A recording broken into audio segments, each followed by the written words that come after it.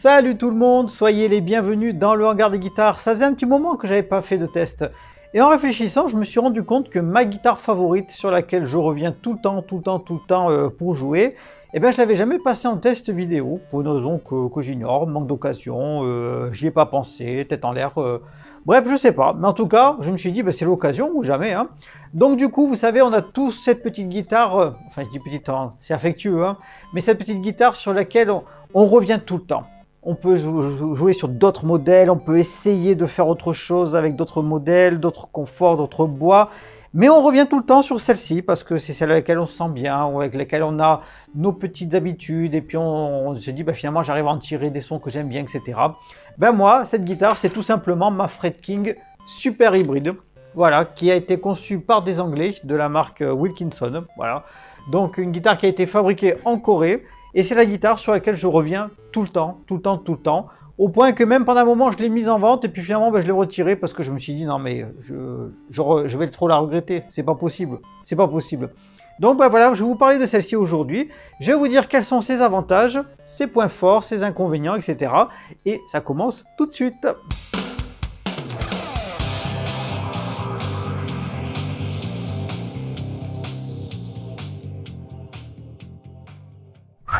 Alors, si vous avez vu le test de la Vintage V6 M24 que j'avais fait dans le passé, vous savez que donc les guitares de marque Fred King, Vintage, les accastillages de la marque Wilkinson, etc. Tout ça, c'est un seul et même groupe qui appartient au groupe JHS de mémoire, je crois que c'est ça, oui. Euh, donc c'est un groupe, un conglomérat euh, anglais qui a été créé. À l'origine, c'est Trevor Wilkinson, celui qui a inventé les vibrato Wilkinson, qui avait créé euh, tout ce groupe-là. Il a été vendu ensuite à un autre groupe, mais Trevor Wilkinson est resté en tant que consultant principal de la marque. Du coup, ils ont divisé ça en plusieurs catégories, et notamment les guitares électriques. Donc les Fred King, ce sont celles qui représentent à peu près tout ce qui est le haut de gamme de la marque. Voilà, qui a connu euh, plusieurs sortes de guitares un petit peu différentes à ses débuts. Après, il y a eu les guitares moyennes de gamme de la marque Vintage, qui sont plutôt connus en France d'ailleurs. Fred King, c'est pas encore trop trop trop bien connu, et pourtant c'est à partir d'un groupe. Et après, vous avez les guitares très bas de gamme, entrée de gamme, qui sont donc euh, les guitares de la marque Encore, Applause, etc. Et qui sont donc euh, pareil des guitares très très très bas de gamme.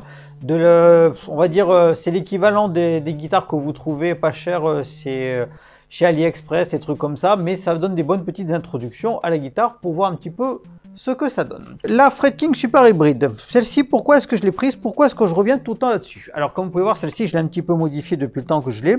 J'ai rajouté ici un petit logo en forme de tête de lion. Ici, normalement, vous avez donc des, boutons en forme de Stratocaster, mais j'ai mis des chromés, voilà. C'est tout ce que j'ai fait sur la guitare. Tout le reste, la guitare est entièrement d'origine. Alors, première chose que l'on constate, c'est au niveau du look. On a affaire donc à un look de Stratocaster très légèrement modifié avec des cornes qui sont à peine plus fine que sur une Stratocaster normale. À peine, hein, on est encore loin des Ibanez RG, mais on voit que c'est à peine plus travaillé. Donc, euh, ouais, ça donne un petit côté à la fois euh, néo-vintage qui est plutôt sympathique. Voilà. On est loin encore des Dinky de chez Jackson, des RG de chez Ibanez, mais voilà, ça, reste très très très correct. Ensuite, nous avons donc un manche en érable, une touche en palissandre, ça c'est chouette, une touche en palissandre hein, pour apporter euh, des bons médiums avec là donc la tête typique de la marque euh, Fred King, donc c'est-à-dire euh, calqué sur une Stratocaster qu'on a légèrement raboté ici et modifié pour pas qu'on ait de problème de, copyright avec les, Stratocaster Fender. Nous avons ensuite 6 mécaniques à bain d'huile. La touche comporte 24 cases, ça c'est plutôt bien, 24 hein. cases de type Medium Jumbo. Ce qui veut dire qu'on reste sur du Jumbo, voilà, c'est plutôt épais, mais c'est pas encore les énormes frettes jumbo qu'on peut trouver notamment sur euh, les guitares euh, pour les shredders. Donc là pareil, on est encore un petit peu à mi-chemin entre le vintage et le moderne, ce qui est très très très sympathique. Au niveau des micros, ils sont montés donc sur cette plaque et nous avons trois micros de marque Wilkinson. Bah oui, puisque la guitare est fabriquée par Wilkinson, autant être servie par soi-même. Hein. Nous avons donc deux humbuckers et un micro simple. Ils sont commandés par un sélecteur à 5 positions avec le routage typique d'une strat, hein, donc euh, un bucker, un bucker plus micro milieu, micro milieu, micro milieu plus micro aigu et micro aigu. Jusque là, rien d'anormal. Ils sont également pilotés par un volume donc euh, général pour les micros euh, ici, une tonalité, et le troisième bouton est un petit bouton qui a un petit secret puisqu'il a deux fonctions très différentes.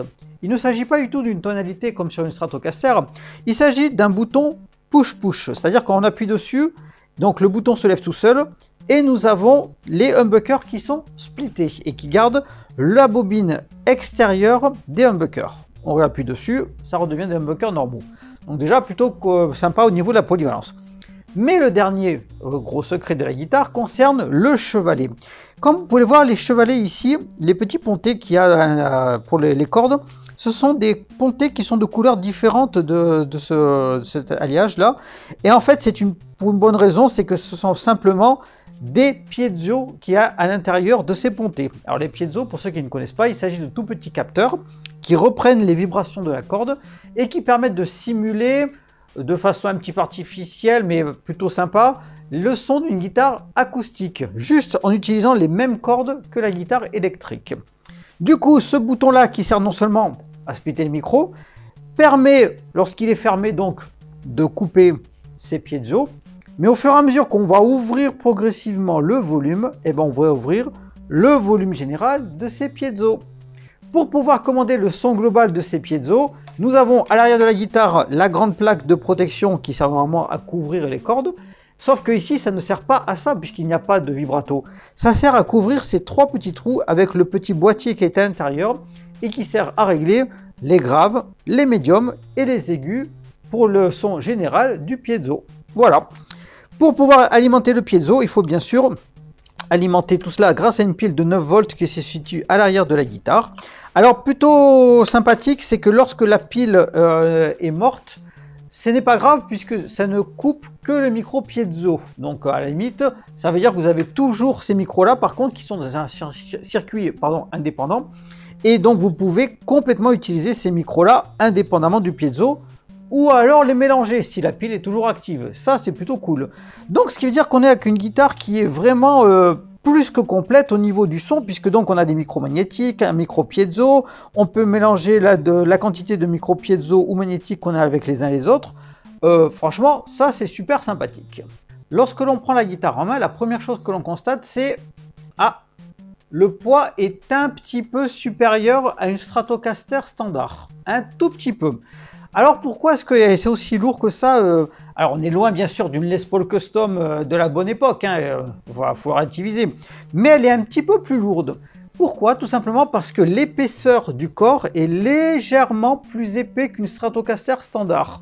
Comme le corps est en holm, mais qu'il est plus épais, ben du coup, ah, ouais, c'est un petit peu plus lourd que la normale.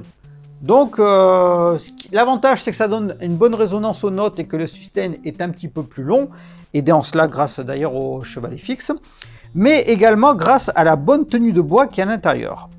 La deuxième chose, c'est le manche. Alors le profil du manche, c'est plutôt un profil Fender type C à l'ancienne, c'est-à-dire qu'il est un petit peu épais. Là encore, on n'est pas trop trop dans l'esprit d'une Les Paul, mais on n'en est pas loin par contre. Donc cette espèce de dé un petit peu rond là, comme ça, si vous n'aimez pas ça, non, c'est pas le genre de guitare qu'il va falloir. Par contre, du coup, lorsqu'on prend la guitare en main, entre le poids, le confort, le manche, etc., et eh bien punaise, la première chose qu'on a envie de faire là-dessus, c'est de sortir des riffs blues rock. Parce que franchement...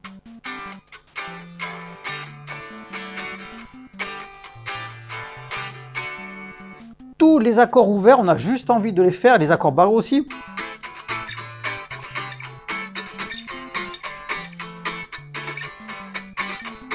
Etc, etc et ça se fait sans le moindre effort. Donc là, du coup, on est loin des super strats que j'ai l'habitude d'avoir qui ont des manches un petit peu plats. Là, on est vraiment dans l'esprit euh, Stratocaster, euh, on va dire, boosté à l'astéroïde et avec des vapeurs d'alcool, de fumée, l'esprit cowboy. Euh, ouais, non, là, on est vraiment... c'est une guitare... pas une guitare de bûcheron, non, ce serait pas juste de dire ça, mais une guitare super strat où on a envie de lui rentrer dedans vraiment pour sortir les riffs les plus saignants Pensez à ZZ Top, pensez à CDC, Airborne, euh, tous ces groupes euh, où vraiment on a envie de, jouer du riff, du riff, du riff et du riff à l'ancienne blues rock.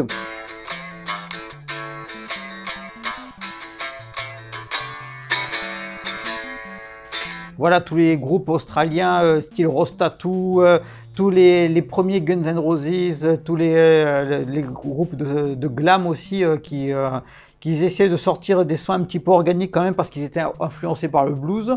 Et après, bien sûr, toute la clique du blues et du jazz, puisque comme le manche est un petit peu épais, et eh ben ça passe tout seul au niveau des accords, c'est vraiment superbe. Du coup, je vais tout de suite brancher la guitare et je vais vous dire réellement qu'est-ce qu'on va en tirer ou pas et quels sont ses avantages et ses inconvénients.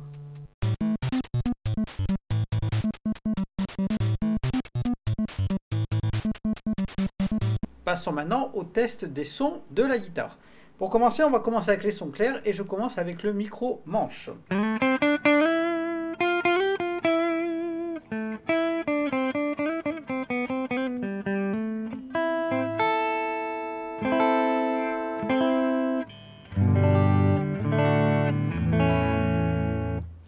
Ben, c'est vraiment très très bien. Je suis très surpris par euh, la personnalité de ce micro-manche qui est pas euh, voilà c'est pas le micro de la tuerie mais par contre il est vraiment vraiment très très très bon.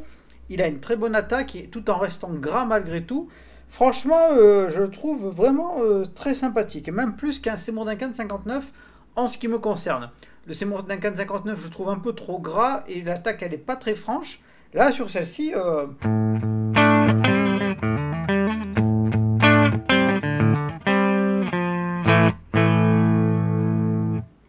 Pas mal.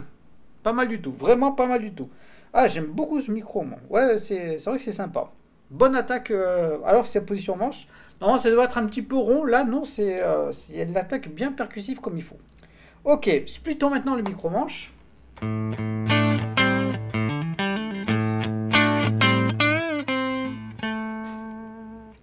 Très étonnant.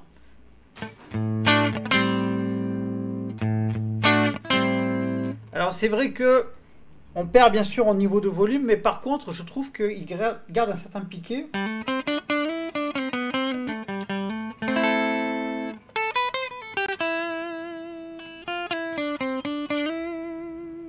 Qui est pas mal du tout. Pas mal, pas mal du tout. Et voir avec le jeu.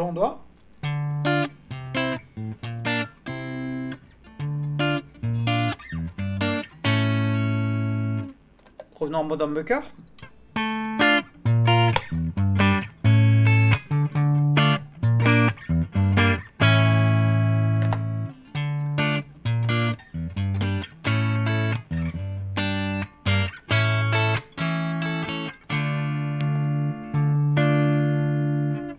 C'est vraiment très très bien. Ok, donc normal ou splitté, la position bucker au niveau du manche est très très bonne.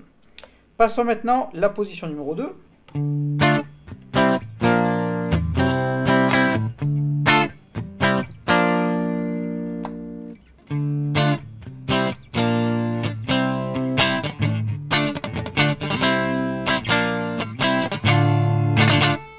C'est très différent évidemment, splitté ou pas splitté puisque donc on est en position euh, numéro 2, qui est donc typique euh, de ce qu'on peut avoir là. Je note que le micro milieu est plutôt rondouillard.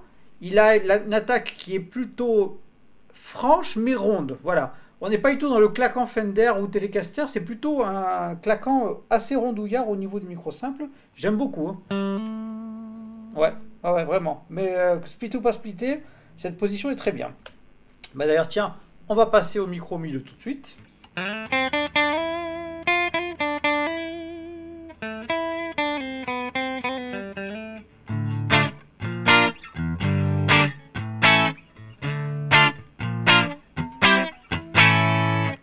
Alors je note que bien que ce soit un simple bobinage, ça va. Il n'a il pas de bruit résiduel au niveau de l'attaque lorsqu'on attaque fort les cordes. Non.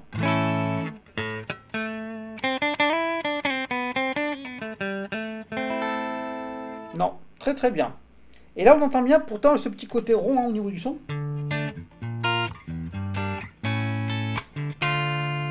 Alors au niveau de sortie bien sûr n'est pas très puissant mais en même temps moi ça me dérange pas du tout. Voilà. Allez on passe maintenant à la quatrième position. Donc toujours pareil, le humbucker aigu en entier avec le micro au milieu. Ah déjà plus nasal dans le son.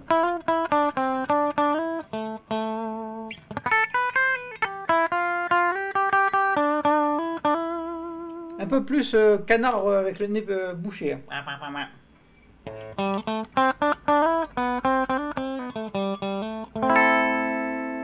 Du coup, je split le humbucker.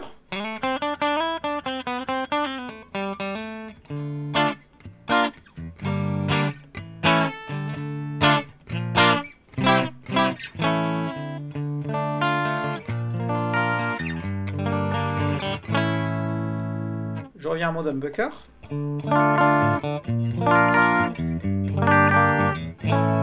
Décidément, cette position numéro 4, c'est très très bien. C'est bien ça, position 2, 3 et 4, grâce à ce micro bobinage, duquel je n'attendais absolument rien d'ailleurs hein, à l'origine. Je trouve qu'il a vraiment une très très bonne définition sonore, euh, en son clair du moins. Et qu'il apporte vraiment quelque chose de plus au humbucker. Euh, non, vraiment euh, surprenant, très très surprenant. Moi qui n'attendais rien de lui, vraiment là... Ah ouais. Bon ben, ça marche bien. Hein. Allez, passons maintenant au humbucker aigu.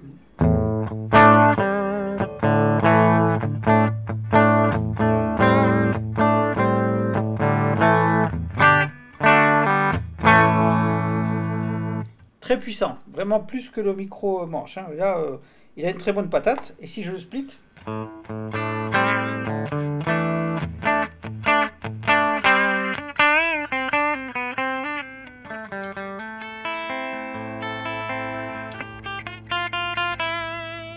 Rien à voir du tout avec le micro-manche. C'est vraiment, il a sa propre personnalité que je trouve personnellement vraiment très sympathique. Donc, euh, ouais, ouais, non, c'est euh, très, très, très sympathique. Euh, ça reste gras, mais il demande à avoir du punch un petit peu plus que ça grâce à une overdrive ou de son saturé. Donc, c'est très, très bien.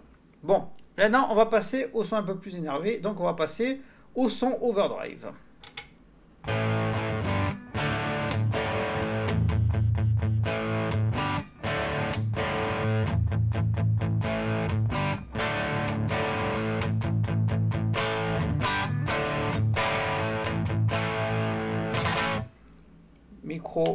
Aigu jusqu'à présent. Passons maintenant position numéro 4.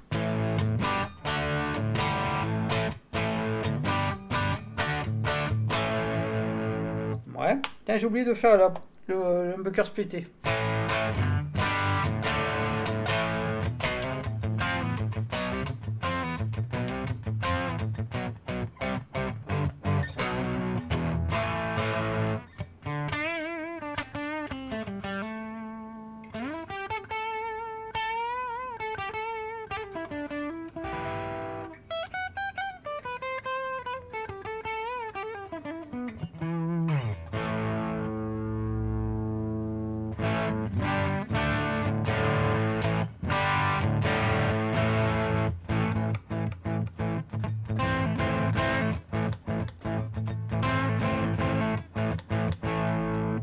Mal, pas mal.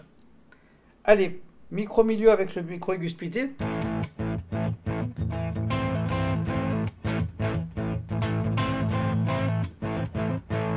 Et si jamais je remets le micro aigu entier avec le micro split, euh, milieu, pardon.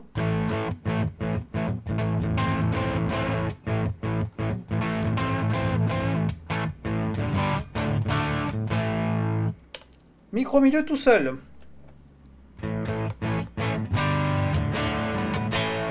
Étonnant, il garde son côté rondouillard.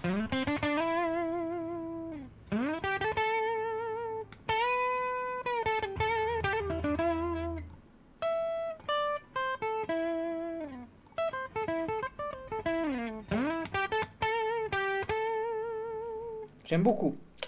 Micro-manche en entier avec le micro-milieu.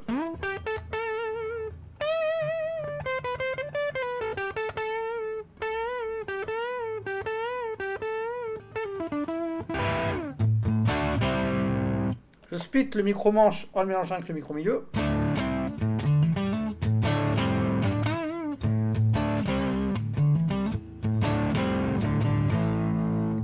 Et maintenant, je passe au micro-manche en entier.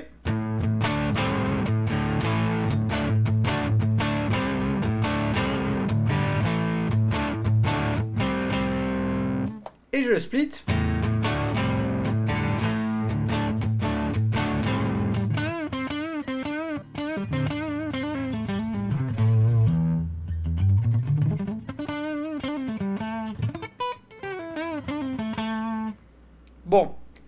Décidément, avec une très bonne overdrive, chose que je n'ai pas malheureusement pour l'instant, je suis obligé de bricoler avec autre chose, et eh ben on se retrouve avec un son qui est vraiment euh, très bon sur les humbuckers, mais vraiment que j'aime toujours plus aux positions 3, 2 et 4. Euh, Franchement, euh, tout ce qui est autour du micro simple avec le son crunch, ça me plaît énormément et c'est vraiment très bien.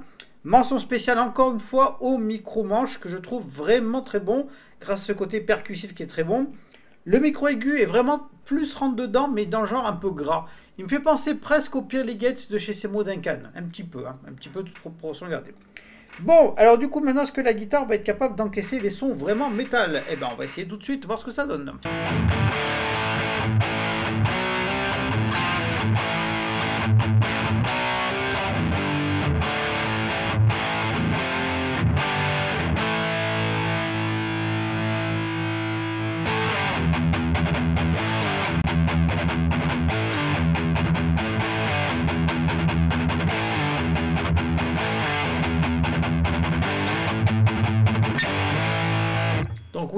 Est capable d'envoyer vraiment du bois à ce niveau-là. Je monte un petit peu le gain, je baisse un peu les médiums.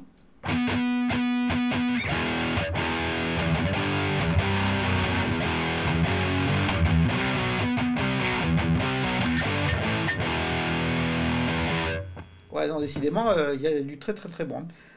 Euh, je vais monter encore un petit peu le gain, baisser encore plus les médiums, rehausser un petit peu les basses.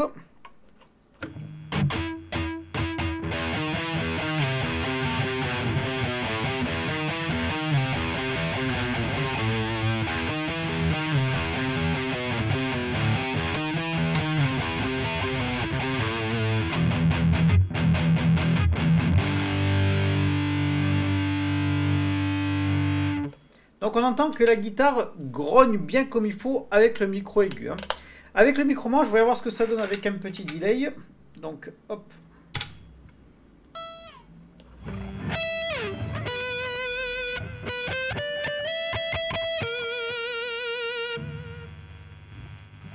Quand même la microphonie, c'est bizarre. Ah mais je suis un peu pas de l'écran, c'est pour ça. Bon, n'en tenez pas compte, hein, désolé.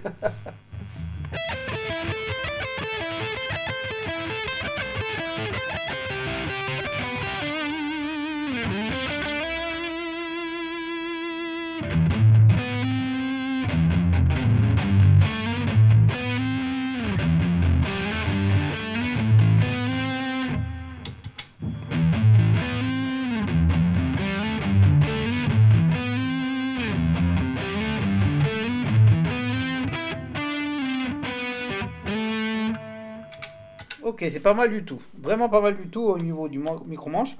Alors, essayons de splitter les micros avec la grosse disto, mais en général, c'est moyen. Je split le micro-manche et je mets le micro-milieu.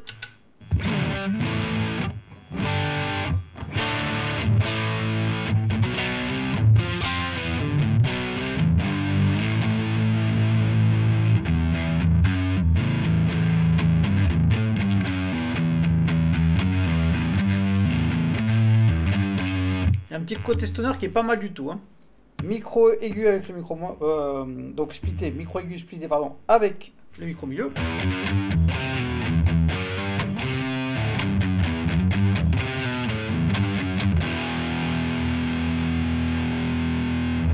Et là en entier.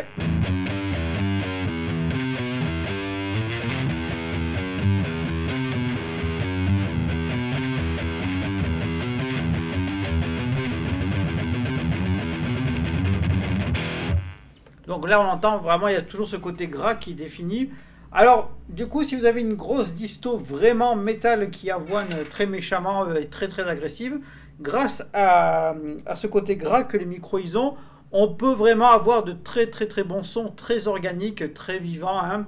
Donc, euh, on est loin d'avoir le son des micros euh, actifs, ça c'est clair et net, donc aucun problème à ce niveau-là.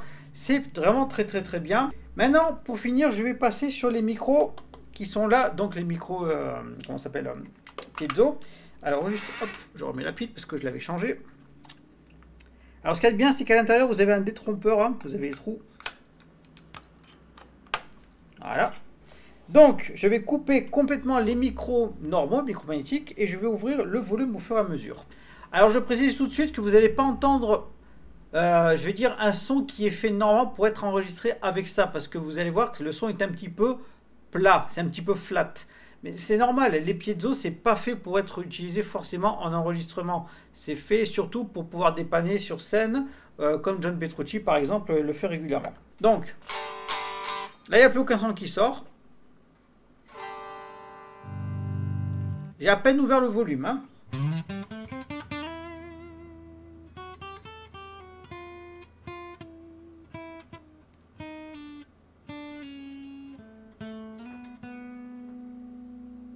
J'ouvre le volume à moitié.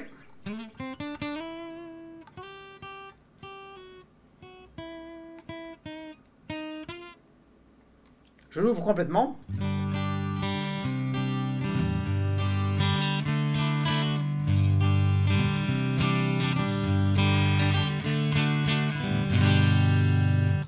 Voilà, donc euh, comme je dis, voilà, c'est pas fait pour vraiment de l'enregistrement, c'est fait plutôt pour jouer en live. Donc là, le résultat est moyen, mais par contre, en vrai, le son est vraiment très très très bon.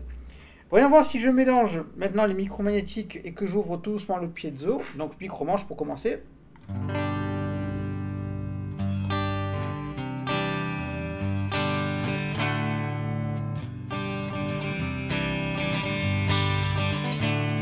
Alors le son est à peine plus riche, voilà. Euh, il y a certaines fréquences qui sont boostées par les piezo, ce qui est tout à fait normal. Euh, par contre, chose intéressante, c'est que lorsque l'on met un micro magnétique avec le piezo et qu'on enclenche la distorsion, chose que les piezo n'apprécient pas forcément, et hein, eh ben on se retrouve avec une espèce de son un peu garage fusy euh, très très sympathique.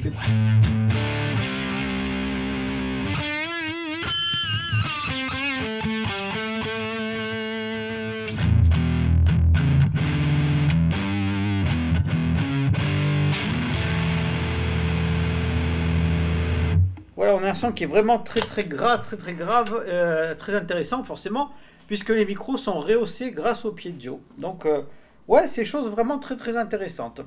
Honnêtement, les micros sont vraiment vraiment très organiques. J'aime beaucoup ça. Si vous cherchez une guitare euh, type Strat, mais qui est capable de jouer du riff, du riff, du riff, si vous aimez le blues rock, le blues, un petit peu le jazz, si vous aimez les sons clairs, les sons rock and roll, ah mais ne cherchez pas plus loin, cette guitare c'est exactement ce qu'il vous faut, parce qu'elle est taillée pour ça. Entre le manche un petit peu épais, les, euh, frettes qui sont semi-jumbo, euh, les humbuckers qui peuvent être splittés euh, tout en gardant une grande polyvalence grâce à sa configuration HSH. Non, vraiment c'est superbe. Et je parle même pas du piezo hein, qui peut vous rendre service de temps en temps, ça c'est vraiment superbe. Commençons d'abord par les défauts, c'est d'abord le poids de la guitare. La guitare est un petit peu plus lourde qu'une Stratocaster standard. Un petit peu. Voilà. J'ai pas dit que c'était une Les Paul, mais si vous êtes du type un petit peu frêle ou vous n'aimez pas les guitares qui sont un peu trop lourdes, sachez qu'elle est quand même plus lourde qu'une Strat Fender normale. Donc faut le prendre en considération. Personnellement, dans le sens où comme elle est un petit peu plus épaisse mais qu'elle me fournit un sustain des notes qui est vraiment génial, eh ben moi ça me dérange pas plus. Voilà. Deuxième chose, je l'ai dit, le manche est au profil C Fender un petit peu épais. Donc on n'est pas encore sur de la euh, Gibson, mais on n'en est pas trop trop loin. Là encore, personnellement, ça ne me dérange pas, parce qu'au contraire, pour faire des accords barrés, ou alors pour faire des petits riffs euh, funky, etc., où on a besoin de faire autre chose que des power chords, eh ben, du coup, elle est très très très polyvalente. Qui bouderait son plaisir pour ça, mais ça ne plaira pas à tout le monde. Du coup, ceux qui ont des grandes mains, des grosses pognes pour jouer du blues, etc., et qui aiment bien les manches MP, par contre, ça vous fera vraiment tout à fait votre bonheur. Aucun problème là-dessus. Et le vrai point dans la guitare, ça m'embête d'en parler, c'est qu'à l'arrière de la guitare, donc je vous ai dit qu'il n'y a pas de vibrato, c'est un chevalet fixe, mais du coup, vous avez cette grande plaque qui est ici, et malheureusement, je ne sais pas pourquoi ils n'ont pas pensé à ça chez Fred King, pour pouvoir changer les cordes, vous êtes obligé à chaque fois d'enlever les six vis. Voilà. Alors vous allez me dire, ouais, mais c'est pas un problème, euh, on enlève la plaque et c'est terminé. Eh ben non, parce que malheureusement, le circuit du micro piezo, il est monté sur cette plaque. À la limite, ce qu'il aurait fallu faire, c'est laisser cette plaque, monter, monter là-dessus tout le circuit du piezo, oui. Et comme vous pouvez voir ici, j'ai creusé un petit trou, parce que j'ai commencé à prendre des repères. Et je vais creuser ici tout le long un grand trou pour pouvoir enlever et retirer les cordes à chaque fois sans devoir démonter cette plaque et abîmer le bois. C'est tout bête, Mais pourquoi ils l'ont pas fait au départ euh, Franchement, ça, euh, j'avoue que là, je sais pas trop. J'hésite, euh, je, ne comprends pas trop ce qu'ils nous ont fait là. Donc bon, bref, c'est, un, non, c'est, un oubli. Moi, je veux dire c'est un oubli, ou alors ils n'ont pas pensé à ça au dernier moment, ou alors il fallait faire des économies. Donc non, je sais pas. Mais bon, bref, c'est quelque chose auquel ils auraient pu penser au départ. Deuxième mauvais point, c'est pas un vrai mauvais point, non. Mais disons que la guitare a 24 cases, il y a un talon qui est profilé, certes, ça c'est plutôt sympa. Mais lorsque je joue, ben, en fait, je me retrouve exactement avec le même euh, accès aux aigus qu'une Stratocaster standard. Du coup, pour pouvoir atteindre la 24e case, il faut vraiment que je fasse un tout petit effort, petit, mais faut quand même le faire, pour atteindre les dernières cases si j'en ai envie. Alors après, je pense qu'on est nombreux à ne pas être forcément allé jusqu'à la 24e case. Euh, franchement, euh, c'est pas tout le monde, tout le monde qui y va. Mais si on en a besoin, ben voilà. Nous, euh, en fait, voilà. Si jamais je m'arrête au talon, voilà, ça s'arrête ici. C'est-à-dire que je m'arrête à la 17e case. Et il faut que je continue un petit peu plus loin en forçant pour atteindre les dernières cases. Mais bon, c'est un détail comme un autre, c'est pas un vrai moins. Dernier point noir à retenir, c'est que la marque Fred King n'est pas bien distribuée en France. Alors je ne sais pas pourquoi. La marque Vintage, ça va très très bien. La marque encore, elle est complètement inconnue en France. Et la marque Fred King, il y en a deux ou trois qui se battent en duel, mais elle n'est pas très très connue. Et je ne sais pas pourquoi. Alors qu'elle est quand même mieux finie euh, au niveau de certains détails que les, euh, vintage. Franchement, euh, très gros point d'interrogation. A noter quand même qu'au début, lorsque la super hybride est sortie sur le marché, elle était vendue à 1100 euros. Voilà. Et vendue avec une petite housse. Bon, soit à la limite, une petite housse, pourquoi pas, moi ça me dérange pas.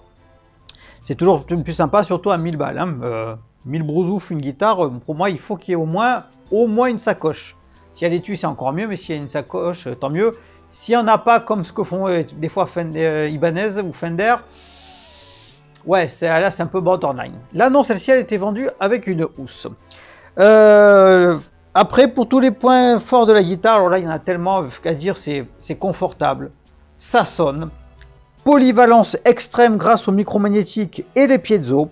On peut mélanger l'un, l'autre, les trois quarts de l'un, l'un quart de l'autre, comme on veut, grâce aux différents volumes que l'on a. Donc ça, c'est très très très très bien pensé. 24 cases, comme j'ai dit, c'est pas tout le monde qui va dans 24 cases, mais on peut aller jusque là. Donc euh, c'est super. Les mécaniques adultes bah, font le job. Voilà, c'est. Euh, en fait, on est vraiment dans une Fender, mais qui a été euh, améliorée. Pas de vibrato, ça va manquer pour les uns. Moi, ça ne me manque pas du tout. J'aime les guitares qui n'ont pas de vibrato. Je trouve que le sustain est un petit peu meilleur, vraiment. Euh, rien à redire à ce niveau-là. Non, mais je, ne sais pas quoi dire de plus à cette guitare, tellement je suis enchanté des prestations qu'elle m'offre.